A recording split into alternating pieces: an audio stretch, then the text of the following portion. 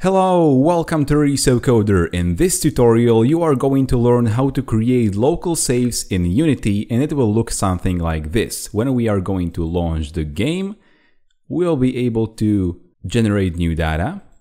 They're gonna be displayed in these text fields and then we can save this data, right?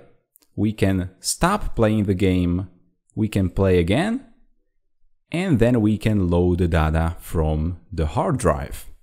Making games is exciting, but it's also a lot of work. Create games more quickly when you plan your week and track your time with Week Sweep. Start saving time now and get the app from the link in the description. Alright, so we have a brand new Unity project and inside it we have one scene which contains a game controller and also a canvas which has nice buttons and text fields so that I don't have to bore you with creating this UI.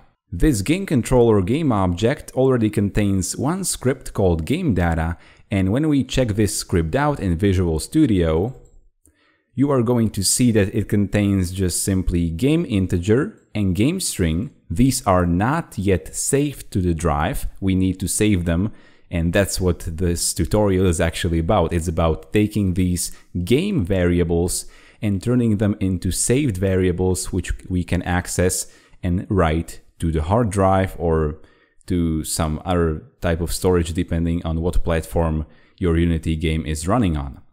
Then we have also inside this game data class, we have text fields, so text integer and text string. We have a method for generating new data, but this is really not, this doesn't have anything to do with the actual saving of the data. You can save whatever you want, but hey, I'm just showing you what we are going to be dealing with in this particular tutorial before we actually dive into the actual saving of the data. So we are generating a random integer, then we are converting and saving it inside the game integer property. Then we are taking this game integer, which we have just generated, and we are converting it into a base 64 string inside of this line and then we call show data which shows the data inside the UI. Alright, so now that we have this game data class sorted, let's go and create save script. So right click, we want to create a new C sharp script. Its name will be save script.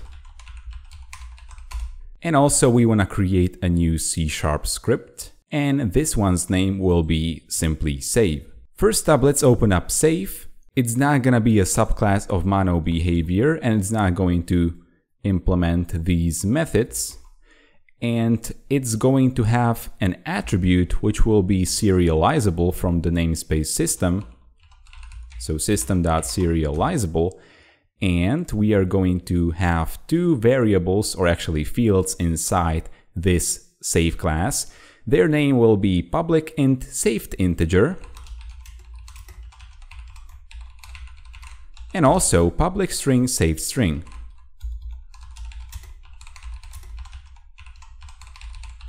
Alright, so as you can probably guess by now, we are going to turn these game integer and game string from game data to the saved integer and saved string inside the save on the drive.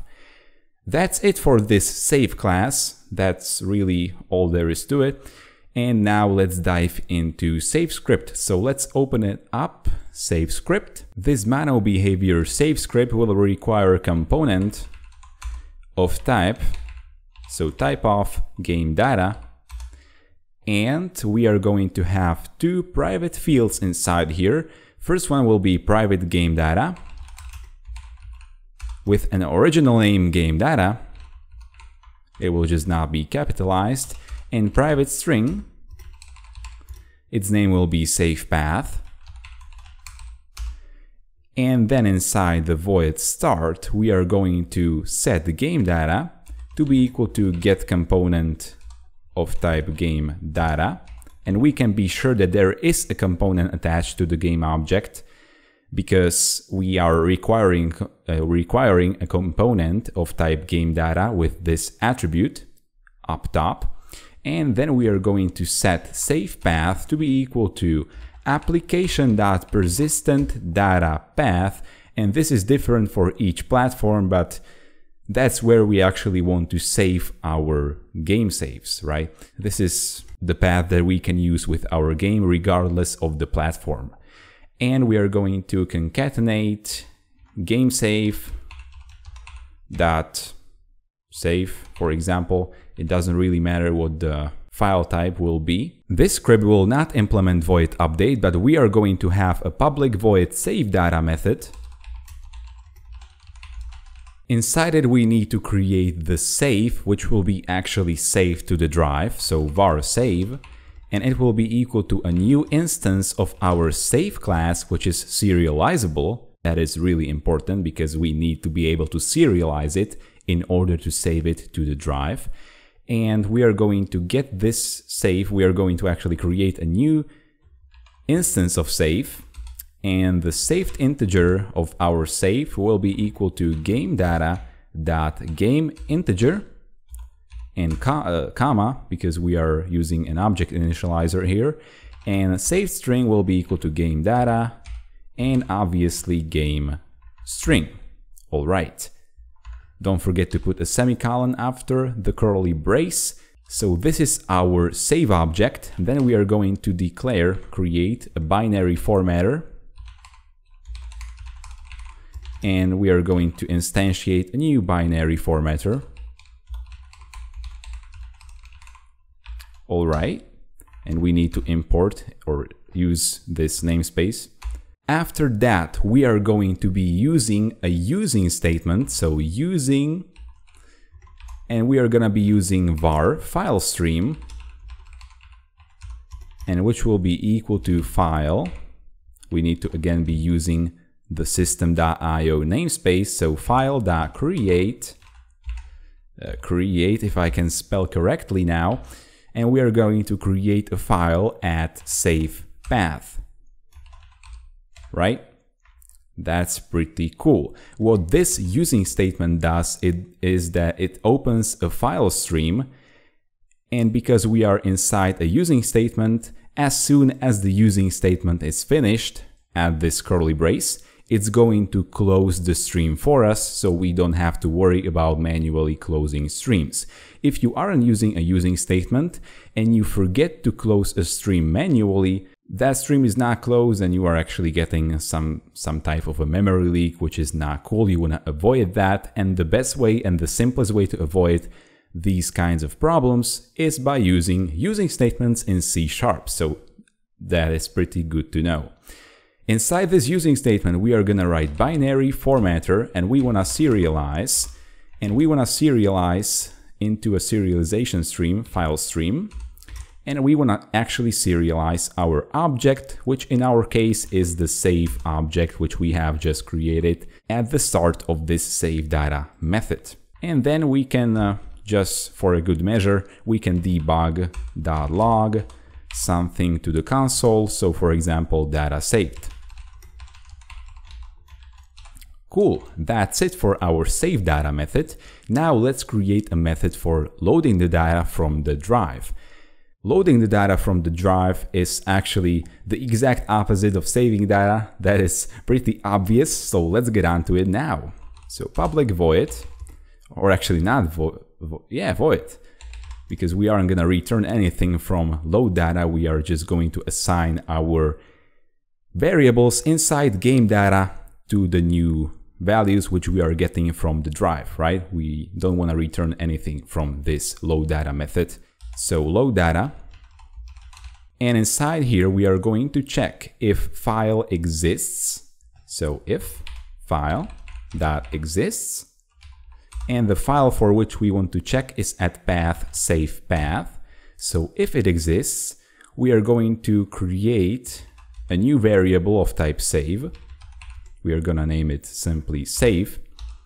And then we are gonna again create a var binary formatter. So new binary formatter, right? That's cool. Again, using a using statement. And inside it, we are again gonna create a file stream, but a bit differently because we are loading the data. We are not creating it as we've done over here. So we again wanna be using a file stream, so our file stream, but this time it's going to be equal to file dot open and we want to open the file at save path. And the file mode will be only open because we don't want to open or create. We don't want to create new. If it's not there we don't want to do anything. So we only want to open a file if it's there already.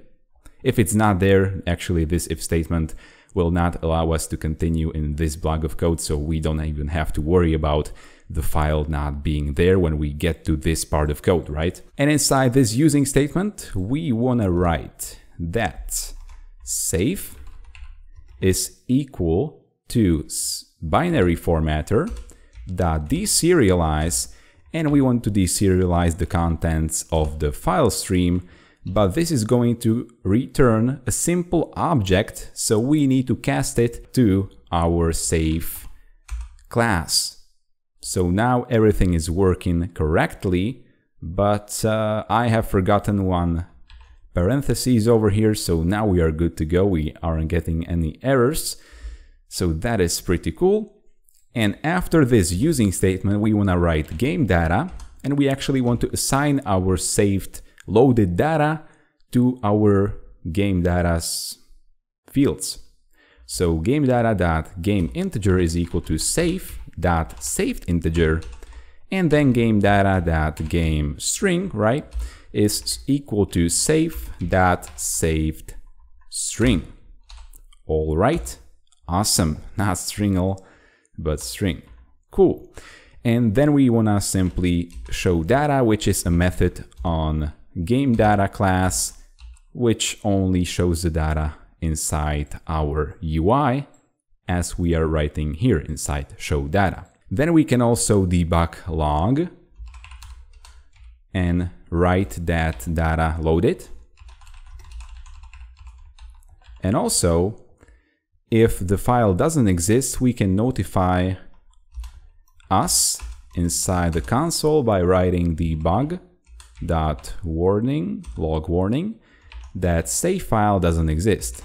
So we have a method for loading the data, we have a method for saving data, we have a save and we have a game data class, which is actually, you probably won't have this game data class. You can store your data inside your game however you want, but then you need to be able to pass it inside your save script and also to access your game data and assign it from your load data inside the save script, right? But you are free to manage your game data however you want. But when it comes to me, I always like to have some kind of a centralized point of my data, such as this game data class. Now let's head back to Unity and we are going to drag our new script, save script, inside our game controller game object. Then we are going to go to button save and on click we'll call the save method on our save script on the game controller so save script, and we want to uh, call save data, and the button load will also call game controller save script, but this one will call load data. Button generate already calls generate new data on the game data class, and we should be good to go. So now let's launch our simple game here.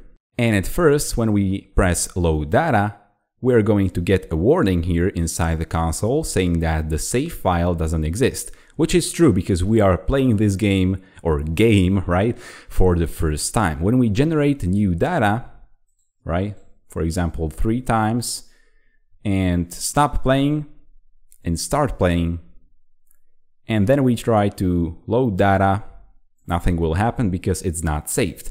But as soon as we generate new data and save it, right? Data was successfully saved.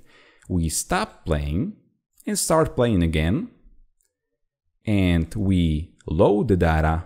We are going to get the data which was present the last time that the data was saved, which is how saves should obviously work. But let's test it one more time, generate new data. So 384 and GAE something, save data, 384,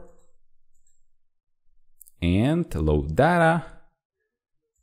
384 GAE, the data is the same. we are good to go. And that's it for this video. Yay! If you don't want to miss more videos like this, subscribe to this channel and also hit the bell button so that you are gonna be notified about all of my new videos. If this video helped you, give it a like and also share it with others so they are going to learn how to save data locally by using binary serialization in Unity. If you wanna get the code from this tutorial, click on the link in the video description, which is gonna take you to resocoder.com. Follow me on social media, and see you in the next video.